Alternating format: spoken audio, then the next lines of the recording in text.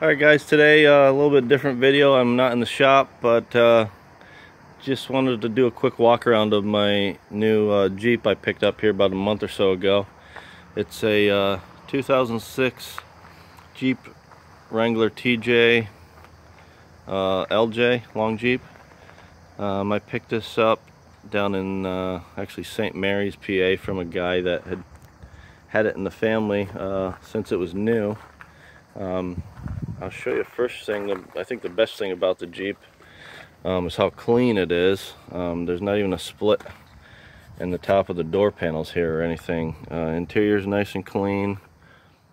Six speed, came with a CB. Uh, mileage on it is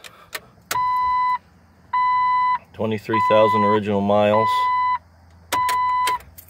Um, it's got a four and a half inch TeraFlex long arm lift kit with a rear Panhard bar delete.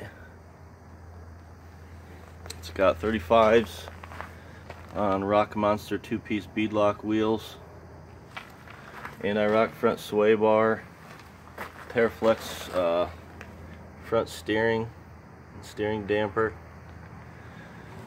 Uh, nice front bumper, nice lights in it already. They're halogen, they're not HID, so I don't have any problems with them flickering and stuff. Warn uh, 9.5 CTIS winch. This is the Rubicon model. Uh, dark khaki, I think it's called, with matching hard top. Did come with the soft top as well, which was like almost brand new. Uh, rear spare tire was custom made. Just kind of spin off the, uh, take the pin out and spin off the nut and the uh, rear spare tire opens. Nice little third brake light somebody's added, CB radio antenna. Just all around uh, Jeep that's in great shape. I was lucky to find it. And uh, frame's nice and clean. I mean, no rust on the frame at, at all. Still got part of the sticker from the factory there. Underbody is super clean for being from Pennsylvania.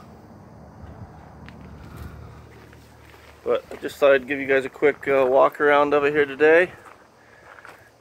Let me know your thoughts or comments. Uh, like I said, just trying. I'm just trying to keep this clean and not going to do a whole lot to it because it's got a lot of things done to it already, which I would have had to spend a bunch of money on. So I'll just do simple things to it.